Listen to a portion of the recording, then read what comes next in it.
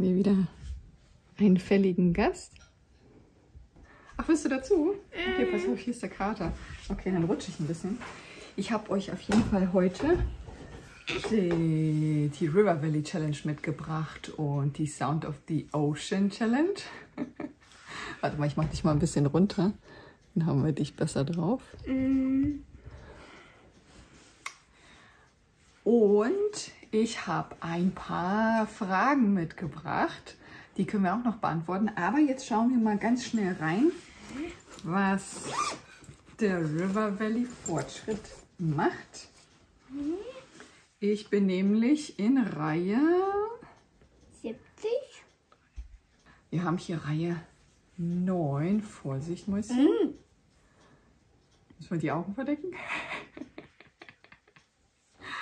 Okay, ich hoffe, ich hoffe ihr könnt das, könnt das ganz gut erkennen. Das ist Reihe Nummer.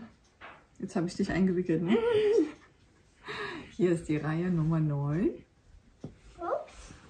Ja, pass auf, der Kater. So sieht es aus. Und wie immer, ihr seid ja mega weit. Ne? Also ihr seid ja alle viel, viel, viel, viel weiter als ich, was mich auch sehr freut, euren Fortschritt zu sehen. Und ich habe vor kurzem erst neue Verläufe gemacht, äh, mit Weiß auch drin und hat mich sehr gefreut, dass ihr euch immer wieder Sachen wünscht. Und dann gucken wir noch in den Sound of the Ocean. Das ist jetzt die Reihe 168. Es ist ja immer eins weniger. Genau, 9 River Valley Car. 168. Whoopsie. Und hier haben wir Reihe 168. Mäuschen, hilf mir. Okay, du hältst? Ja. Okay, gut. Lass mal weiter. Hier. Einmal das.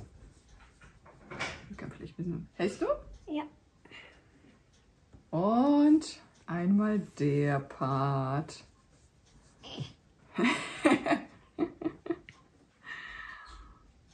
Ja, das habe ich in der Zwischenzeit noch gemacht. Und du hast dir sehr viel Mühe gegeben dafür. Ja, und wer noch ein paar andere Handarbeiten sehen möchte, woran ich sonst noch so die letzten Monate arbeite oder gearbeitet habe, äh, schaut doch mal gerne in den Julias Cast rein. Das ist mein Vlog-Channel.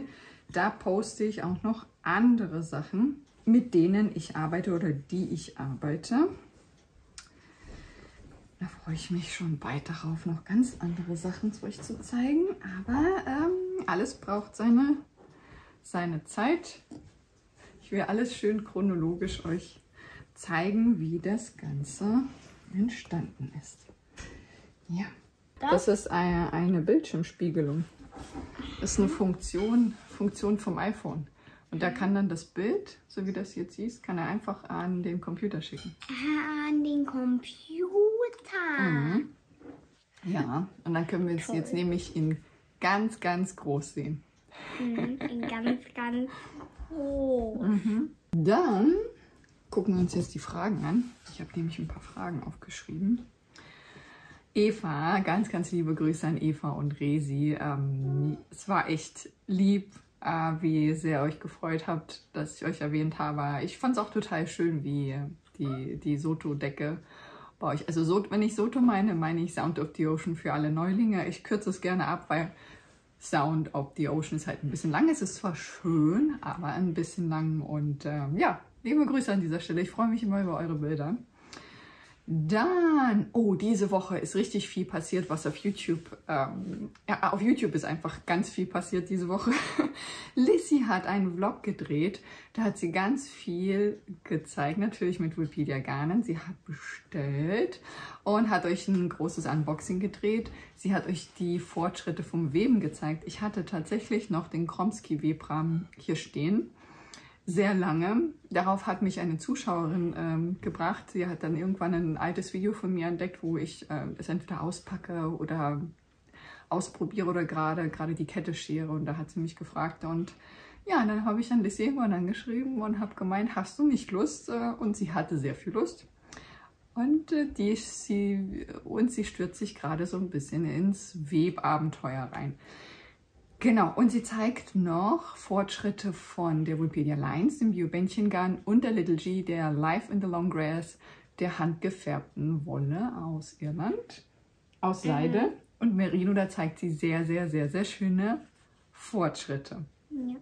Dann hat Katrinchen Fortschritte auf ihrem einfach Katrin, heißt es einfach Katrin? Ja, ihr Vlog-Channel. Sie stickt in River Valley Kall, bin ich auch sehr gespannt. Sie hat Stoff gefärbt, ein, so eine Art Farbverlauf. Und sie stickt praktisch nur die schwarzen Bereiche, also der Farbverlauf ist gefärbt und sie stickt nur schwarz, dann spart sie sich praktisch so ungefähr die Hälfte von äh, der Arbeit. Bin ich auch sehr gespannt, wie das wird. Und dann hat sie noch einen ganzen Häkel-Podcast gemacht. Danach hat sie ähm, eine Wickeljacke getragen aus unserer Milano. Und ich meine, die Anleitung ist auch schon online. Das Wickeljäckchen, ich glaube ja. Auf jeden Fall, wenn ich es finde, schreibe ich euch wie immer ähm, die Links unten in die Infobox. Dann hat Matty ein Unboxing gedreht, auch mit unseren Colors. Er hat ein paar Sachen bestellt, die er wollte, Socks und solche Sachen und hat sich eine Surprise Box bestellt. Das ähm, ja, hat er auch abgedreht, hat mich sehr gefreut und er hat es zum Beispiel nur Unboxing genannt. Da hätte alles drin sein können. Ich habe natürlich drauf geklickt, weil ich mit die gerne, bei Mitty gerne reinschaue. Und was war es? Es war unser Garn. Habe ich mich sehr, sehr, sehr, sehr, sehr gefreut. Genau, Katrinchen, das hatte ich. Ach ja, genau, er ähm, häkelt den, auch den River Cull.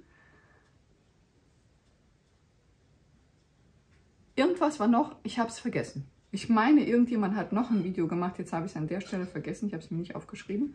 Aber YouTube ist auf jeden Fall diese Woche extremst, also ihr YouTuber seid extremst aktiv und zeigt ganz, ganz viele Sachen, was mich sehr stolz macht. Dann kam eine Frage rein zu dem Community Tikal, den habe ich ja letztes Mal schon gezeigt. Wird es da noch ein Muster geben? Ich habe noch ganz viel Garn übrig und es kommt ja dann auch eine Perle, dass man weiß, dass ein nächstes Muster kommt und ja, das Muster kommt. Ganz, ganz liebe Grüße an Nadine. Vielen, vielen lieben Dank. Sie arbeitet an der Decke und sobald sie ihren Part fertig hat, sobald wir schöne Bilder haben, kann ich mich daran machen, eine Videoanleitung zu drehen für ähm, das nächste Muster, damit ihr natürlich auch mithäkeln könnt. Oder wenn ihr nicht möchtet, dann könnt ihr auch nicht, wenn ihr gar keine Lust habt. Rein theoretisch, ja. Mm. Aber ich glaube, die Leute haben schon sehr viel Lust. Mm. Ähm, ja, und wer es nicht aushält, probiert einfach irgendein schönes tunesisches Muster aus, was euch sehr, sehr, sehr gefällt. Einfach ausprobieren. Ja. Dann kam eine Frage rein. Ich weiß, ich habe tatsächlich schon überlegt, ich habe im letzten Julias Cast habe ich gezeigt, wie ich die Twinkles herstelle. Und ich habe schon überlegt, ob ich das hochlade oder nicht, weil ich mir schon gedacht habe, dass ich einige verwirren werde. Das sind tatsächlich ältere Videos, die ich einfach noch nicht, also ich kam einfach noch nicht dazu, die zu schneiden. Ich habe die jetzt erst geschnitten. Aber ich wollte sie trotzdem euch unbedingt zeigen. Ich wollte es einfach mal festhalten, wie das Ganze passiert, wie es stattfindet und das, wie ich die Perlen reinmache. Deswegen habe ich sie ja. auch, ähm, ich habe es einfach geschnitten und für euch hochgeladen, damit ihr das Ganze einfach noch seht. Aber aktuell werden sie nicht gefertigt. Das geht einfach aus gesundheitlichen Gründen nicht. Das machen meine Hände nicht mit, das wisst ihr. Aber wir warten auf einen elektrischen Wollwickler. Und sobald er da ist, kann ich mich daran austoben, weil mit seiner Hilfe kann ich das bestimmt wieder machen. Ich brauche halt einfach nur einen Wickler, der, der für mich dann praktisch die mechanische Wickelarbeit übernimmt und ich kann dann das Verschönern machen und die Farbverläufe erstellen. Ja, das ist mal ein bisschen meine Hände entlastet und das sollte dann klappen. Wir schauen dann mal, wann es hier eintrudelt und ich mich austoben kann. Dann kam eine Frage rein zum River Valley Call. Ich kann nirgendwo ein Bild vom fertigen Projekt finden. Wo ist es denn? Oder kannst du mir da ein, den eins schicken? Und wie ihr wisst, der River Valley Call ist ja noch nicht fertig. Also ich bin, mein Mäuschen schaukelt mich. Ich bin in Reihe 9 und wenn ich in Reihe 9 bin, ist es leider noch nicht fertig. Was heißt leider? ehrlich gesagt mag ich lange Projekte sehr. Ich finde es eigentlich total schön, wenn man lange was von einem Projekt hat, weil es einen einfach begleitet und man irgendwie jeden Morgen oder alle paar Tage dran arbeiten kann. Und aktuell macht mir das Freude, den Fortschritt langsam zu sehen. Und nein, also um die Frage ganz kurz zu beantworten, nein, äh, es gibt kein Bild ganz einfach aus dem ganz, ganz einfachen Grund. Äh, ich habe es einfach noch nicht fertig. Also ich häkle das mit euch zusammen. Deswegen gibt es da noch kein Bild. Aber wenn jemand von euch natürlich schneller ist als ich und ein sehr hübsches Bild macht, bin ich sehr, sehr happy, wenn ihr mir das zuschickt. Wir schenken euch auch Gutscheine für den Shop, wenn ihr uns Bilder zuschickt. Kann ich euch gerne auch eine Info verlinken. Das könnt ihr auch für andere Projekte machen. Ich muss wieder gucken, der, der eingeschlafen. Ähm, und wenn es dann natürlich von jemandem ein Bild gibt vom fertigen Projekt, das kann ich dann natürlich hochladen und das auch mit euch teilen. Genau. Mm. Mm, und dann es kam auch mal wieder eine Frage rein. Das ist eine Frage, die ganz oft reinkommt. Ähm, Julia, ich möchte dieses Oberteil oder diese Jacke oder diesen Pulli für Größe 44 oder 46 oder 48 machen. Wie viel Garn benötige ich dafür? Also ich muss mal ganz kurz was trinken. Die Frage kann ich tatsächlich nicht beantworten. Es liegt einfach daran, weil ich diese Größen nicht arbeite. Das tut mir sehr, sehr leid. Aber ihr könnt euch gerne mit anderen austauschen und ich verlinke euch gerne Ravelry. Da könnt ihr gerne gucken. Da könnt ihr zum Beispiel eingeben, Pulli oder Jacke oder was auch immer. Und ihr braucht dann ähm, einfach, wenn jetzt, wenn jetzt die Frage zum Beispiel für Little G Moon gerichtet, also für die Life in the Long Grass, für das Garn, ihr könnt direkt das Garn zum Beispiel bei Ravelry eingeben und dann auf Projekte klicken. Und dann könnt ihr dann gucken, oh, wer hat denn daraus alles ähm, was gemacht? Und dann stehen dann auch die Lauflänge da. Also nicht jeder trägt das ein, aber die meisten bei Ravelry machen das schon, weil die Leute gerne Ordnung halten. Und dann wisst ihr dann auch, okay, wie viel hat denn diese Person von dem Garn für dieses Projekt gebraucht? Und selbst wenn ihr jetzt nicht haargenau den gleichen Pulli macht oder haargenau die gleiche Jacke macht, es ist aber trotzdem ähnlich. Zumal ihr sowieso Angaben, also Garnangaben sowieso nie genau nehmen könnt, weil jeder strickt ja anders. Also der eine strickt lockerer, der andere strickt fester, der eine benutzt die Stricknadel, der andere eine ganz andere. Also bei jedem Stricker ist ja auch die Maschenprobe und das Ergebnis dann, dann zum Schluss ja auch ganz anders. Von daher ist es immer nur so ein Richtwert. Also man sagt sowieso immer, wenn ihr einen Richtwert habt, ihr solltet sowieso immer ein oder zwei Knäuel euch mehr einfach zur Vorsicht dazulegen, falls es nicht ausreicht. Aber wenn es nicht ausreicht, ihr könnt es auch nachbestellen. Ist ja jetzt nicht so tragisch. Jetzt habe ich den Faden verloren. Was wollte ich jetzt sagen? Das mit den Garnen. Ach genau, und das andere, was ich noch sagen wollte, was ihr natürlich auch noch machen könnt, ihr könnt, äh, ihr könnt ja schauen, meistens hat man ja als Stricker jetzt schon eh einen anderen Pulli oder eine andere Jacke gearbeitet. Und dann könnt ihr dann einfach eure Handarbeit wiegen und gucken, wie viel habe ich denn selbst für meine Jacke gebraucht. Also sagen wir mal zum Beispiel, eure Jacke wiegt 400 Gramm. Und die Banderole sagt euch, Pro 100 Gramm sind es 100 Meter Lauflänge. 100 mal 4 Knäuel, also ihr habt ja 4 Knäuel verbraucht, wären es dann 400 Meter. Dann wisst ihr, okay, für meine Jacke brauche ich 400 Meter Garn. Ihr solltet dann natürlich nur ein Garn nehmen, was auch die gleiche Nadelstärke hat. Also wenn ihr dann zum Beispiel diese Jacke mit einer Nadelstärke 5 gearbeitet habt, könnt oder so, also ihr könnt schon, aber ihr solltet nicht unbedingt dann ein Garn wählen, was mit 3 mm Hand gearbeitet wird, weil ihr dann natürlich dementsprechend mehr Garn braucht. Ihr könnt es ausrechnen im Dreisatz, ihr könnt dann einfach eine Maschenprobe machen, ausrechnen oh, und dann wisst ihr, wie viel ähm, mehr an Lauflänge ihr braucht. Wenn ihr die Banderole nicht mehr habt, könnt ihr das online nachgucken. Also googelt einfach nach eurem Garn, auch wenn es das Garn nicht mehr gibt. Das Internet speichert sehr, sehr lange diese Daten. Also selbst wenn es ein Garn ist, das schon aus dem Sortiment raus ist, das der Hersteller vielleicht nicht mehr herstellt, ihr findet Infos dazu. Einfach googeln. Gebt einfach das Garn ein, was auch immer, also zum Beispiel Little G Moon und dann dahinter Lauflänge oder Yardage, je nachdem, ob das jetzt ein deutsches oder ein englisches Garn ist.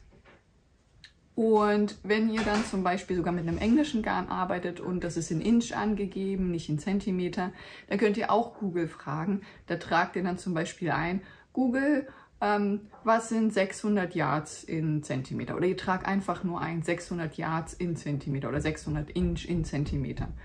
Und ähm, da, also Google ist wirklich euer Freund in dem Sinne, er gibt euch einfach alle Infos, die ihr braucht. Und ihr könnt, was ihr auch könnt, ihr könnt sogar eure Rechnung, äh, die Dreisatzrechnung auch sogar bei Google eingeben äh, und er spuckt euch das auch aus. Ja.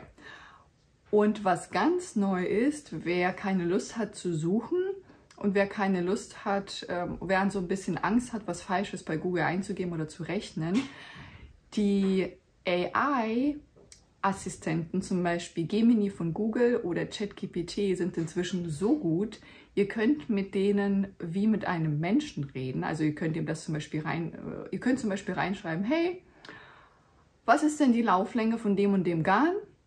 Meine Maschenprobe ist so und so, rechne mir das doch mal aus, wie viel Garn ich brauche, da und dafür. Und meistens funktioniert das ziemlich gut. Manchmal äh, klappt das nicht so gut, weil ihm vielleicht Angaben fehlen, aber das sagt er dann auch. Er sagt euch dann, ja, ich brauche noch das und das.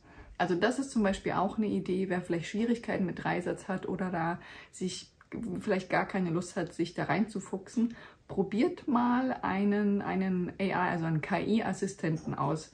Das äh, macht teilweise sehr viel Spaß. Ja, da kommen, da kommen lustige Sachen bei raus und ähm, teilweise ist es wirklich eine riesige Hilfe. Und selbst wenn es äh, sogar nur die Websuche ist, also dass er euch erleichtert, das Wissen zu erhalten, was ihr wollt und wenn ihr so ein bisschen unsicher mit Suchmaschinen seid, da hilft er. Ja, da gibt es auch Apps fürs Handy oder ihr geht einfach auf die Webseite, also zum Beispiel gemini.google.com und ChatGPT, bei welcher Webseite läuft das? Ich verlinke es euch, wie immer. Ich habe es gerade nicht im Kopf, aber ich verlinke es euch und ähm, ja, also ich, ich finde es auch eine interessante Entwicklung. Manche haben auch schon versucht, so einen KI-Assistenten zu nutzen, um eine Anleitung schreiben zu lassen oder irgendwie Tipps sich geben zu lassen, wie man das machen kann. Das klappt natürlich auch noch nicht so gut. Ne? Also die KI kann natürlich Anleitungen nicht so gut, vielleicht so ganz simple Sachen, aber keine komplizierten. Ähm, ja, aber ich denke mal, es ist, es ist ein Spaß wert, das einfach mal am Abend auszuprobieren. Ja. In dem Sinne, ich bedanke mich sehr, sehr, sehr für eure Bilder und eure Fragen. Ich lade euch sehr, sehr herzlich ein, auch ähm, nächste Woche mitzumachen. Jeder ist herzlich eingeladen, der daran teilnehmen möchte bei der River Valley Challenge oder bei der Sound of the Ocean Challenge. Ich schreibe mal gerne Soto Challenge dazu. Egal ob ihr Reihe 1 oder Reihe 750 seid, egal mit welchem Garn ihr arbeitet, schickt mir sehr, sehr gerne Bilder per WhatsApp oder per Instagram oder per E-Mail. Per E-Mail habe ich es am liebsten. Da kann ich es am besten abspeichern. Mm, ja, und ich würde sagen, wenn ihr Fragen habt, gerne in die Kommentare. Dann melde ich mich nächstes Mal wieder dazu. Und ansonsten habt eine schöne Zeit. Habt ganz viel Spaß beim Handarbeiten und bis zum nächsten Mal.